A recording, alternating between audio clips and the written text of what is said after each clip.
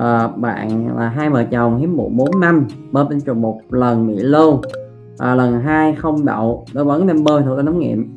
À, thật ra là với bạn là đã hiếm muộn 4 năm bạn bơm ờ, à, tinh trùng một lần mà không thành công thì bạn không nên bơm tiếp. À, rõ ràng là nó không có tác dụng đối với lại trường hợp của bạn. Thế như vậy thì chúng ta nên cân nhắc làm phẫu thuật ống nghiệm không nên mình bơm tiếp các bạn nha. Bởi vì sao? Bởi vì khi mà chúng ta bơm á, mà chúng ta không thành công thì giống như chúng ta đi thi vậy đó. Chúng ta kỳ vọng và sau đó chúng ta thất bại. Thì như vậy cái việc kỳ vọng rồi thất bại nó sẽ làm chúng ta có thể bị trầm cảm. Cái việc trầm cảm nó sẽ ảnh hưởng lên những cái buồn trứng hai bạn ha. Và như vậy là chúng ta làm ảnh hưởng cho những lần mà chúng ta làm thử nghiệm. Do đó thì à, các bạn không nên à, tiếp tục bơm tinh trùng.